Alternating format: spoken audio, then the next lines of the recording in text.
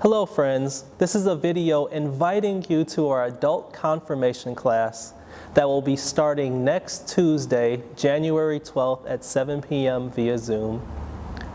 We are excited to gather together and talk about confession, baptism, the Ten Commandments. What did Luther say about these things, and what do these mean for us today?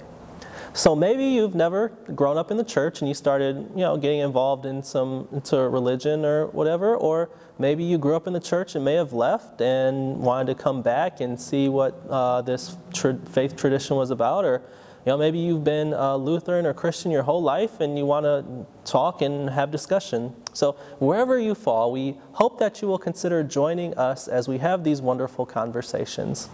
Now, if you are not much of a technology person, you know, like myself, we will be doing a in-person uh, session starting on Wednesdays, starting next uh, week on the 13th at 1 p.m. at the church, which will be limited to under 10 people.